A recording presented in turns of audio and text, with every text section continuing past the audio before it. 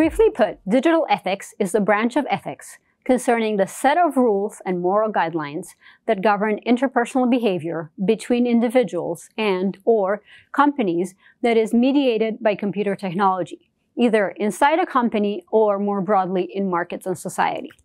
Over and above what is admissible from a legal perspective and what confirms to privacy regulations, digital ethics asks whether various actions such as collecting, connecting, or selling particular data sets treating different groups of individuals differently due to vulnerabilities linked to their socio-demographic characteristics or other factors, or leading people to engage in addictive or otherwise unwise behaviors in the digital environments via technological nudges of various kinds by exploiting human weaknesses and biases is the right thing to do.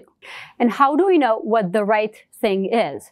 The philosophical answer points to the code of conduct governing your particular culture, industry, or belief group.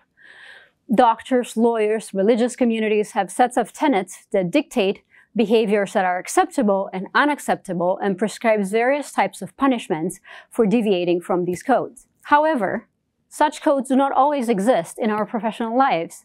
And when it comes to technology, these codes are often out of date. So I prefer following the advice of wiser people than I am. A few years ago, during my PhD program, Professor Clayton Christensen at Harvard Business School taught us this. When you're considering if you're doing the right thing, ask yourself, how would you feel if your project was showcased on the first page of the New York Times today? How proud would you be to talk about it if your mother asked you about it? Or even more poignantly for some of us, if your children wanted to know about what do you do at work.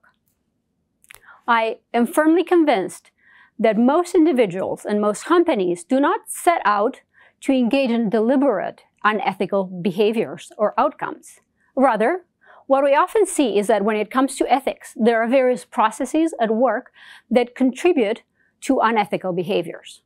Some of these processes are general processes, such as a slippery slope or pushing for results without considering the means to get to them. Others are specific to the digital context, such as prioritizing the development or implementation of a new technology without concerns for how it could be misused, using biased data without understanding how it was generated, or aiming for a solution that performs well enough good enough, except for a few outliers that upon closer examination of the data turn out to belong to a disadvantaged, underrepresented minority who is further harmed, marginalized, or burdened by the encoding of the societal bias in a digital form. My hope is that this brief segment serves as a starting point for reflections and for conversations on topics of digital ethics, and also as an inspiration to build in ethical considerations throughout the process of technology product design, as our world is becoming increasingly reliant on digital products for life and for work.